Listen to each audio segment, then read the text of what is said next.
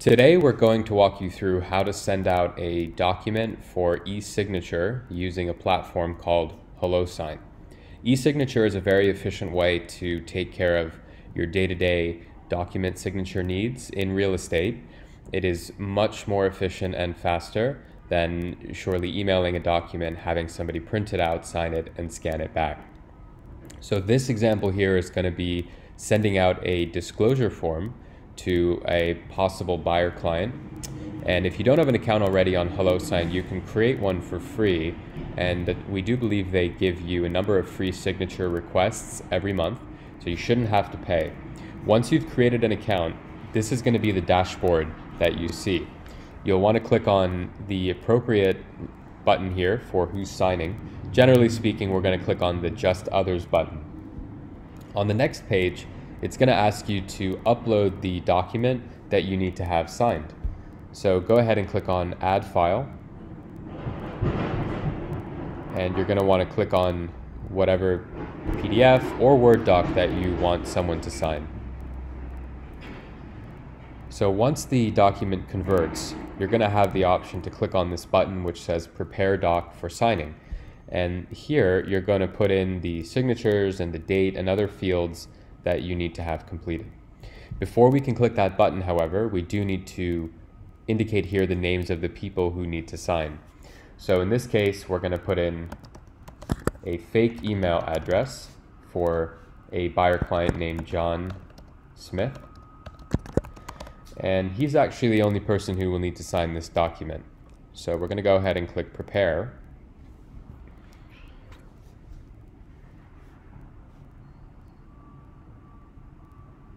Here's the document. In this case, there's nothing to sign on the first page, so we'll go down to the second page.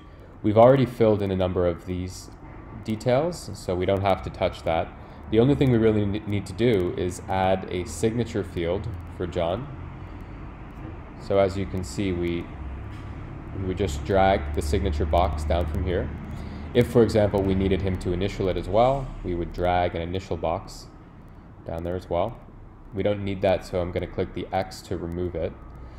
In this case, we'd like to have a date as well, so drop that down there, and we should be good. So just to summarize what's going to happen is John will receive an email. It will open this document for him, and then he will be asked to sign here in the signature field, and then this date field will automatically populate based on the date which he opens the document. If we were to have another person signing the document, there would be a little arrow here and you would be able to drop down and select the signer for the signature field or the person whose date will be updated. There's also a couple other options for a text box. So if you need someone to fill out a form, you can drop a text box here and then you see this here, it will ask the signer to fill it out when they click on the link to review the document. I will remove this because we don't need it. And since we're all good here, we can go ahead and click continue. Once we've done that, you're able to put in a title of the email that John will receive. So in this case, we'll put something like agency disclosure form for John. And up to you if you want to include a message. At this point, we've done everything we need to do. We can go ahead and click request signature.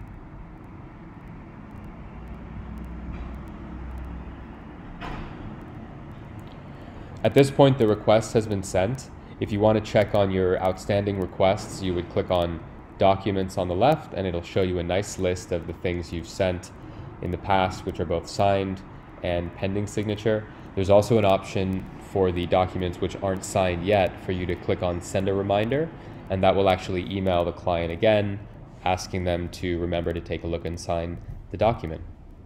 If you have any questions, leave us a comment. We hope that was helpful.